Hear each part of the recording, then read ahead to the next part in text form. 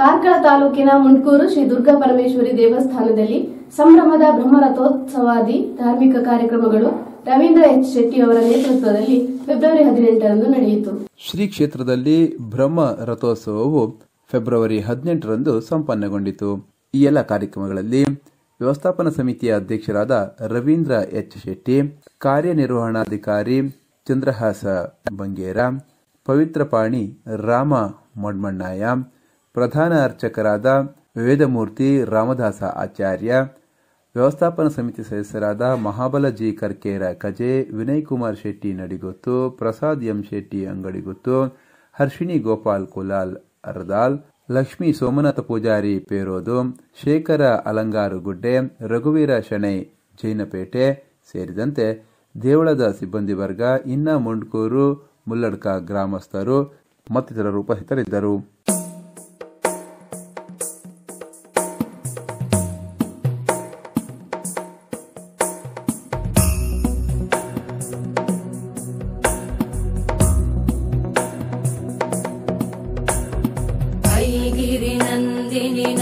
नन्दितमेदिनि विश्वविनोदिनि नन्दनुते गिरिवरविन्द्यशिरोधिनि वासिनि विष्णुविलासिनि जिष्णुनुते भगवति हेशिति कण्ठकुटुम्बिनि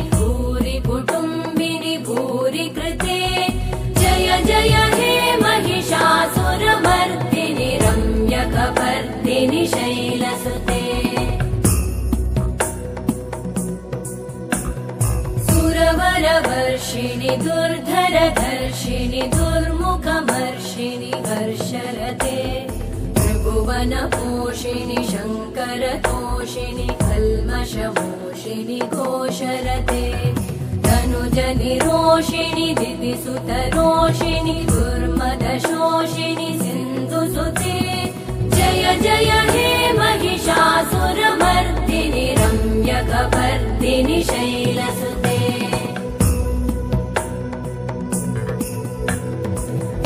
अयि जगदम्ब मदम्ब कदम्ब वनप्रियवासिनि आसरते। शिखरि शिरोमणि तुङ्ग हिमालय शृङ्गनिजालय मध्यगते मधु मधुरे मधु कैटभगञ्जिनि कैटभभञ्जिनि रासरते। जय जय महिषासुरमर्दिनि रम्यकपर्दिनि शैलसुते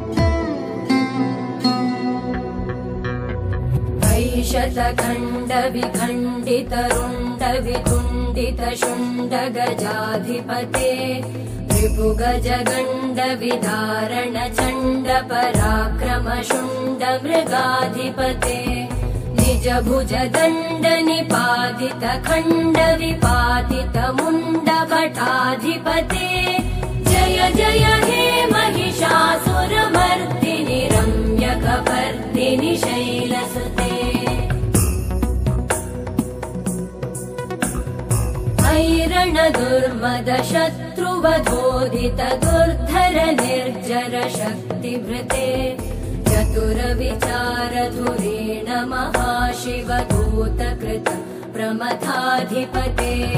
दुरित दुरीह दुराशय दुर्मति दानव दूत कृतान्तमते जय जय हे महिषासुरमर्दिनि रम्यकपर्दिनि शैलसुते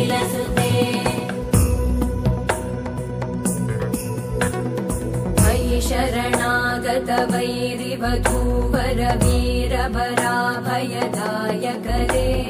त्रिभुवनमस्तक शूलविरोधि शिरोधि कृतामलशूलकरे